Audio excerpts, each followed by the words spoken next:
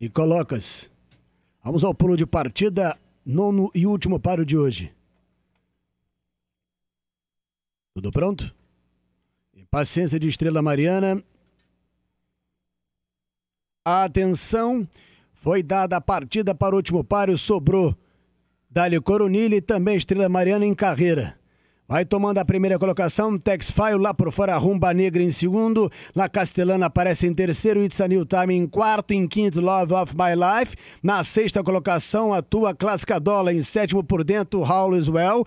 Entram pela variante, Rumba Negra vai tomando a ponta, vai livrando um corpo inteiro, Tex File balançadona em segundo, em terceiro por fora, vai avançando a It's a New Time, vem junto mais por fora pela competidora número 4, a Japan Force, que já tomou a terceira, avança na luta pela segunda, contorna a curva de chegada, entram pela reta final, Rumba Negra tem a ponta, um corpo um de luz de vantagem, ali por dentro vai avançando a Tex Fire, mais por dentro, La Castelana, vão cruzando da seta dos 300 do vencedor, a ponteira é Rumba Negra, um corpo inteiro, Tex Fire em segundo, avança mais aberto, Love of My Life, cheio de apetite, Love of My Life, aqui por fora, de passagem. Vem junto com a It's a New Time, Love of My Life tomou a ponta, livrando um corpo inteiro. É a segunda vitória da Vitória Moto. Um corpo inteiro, cruza uma faixa final.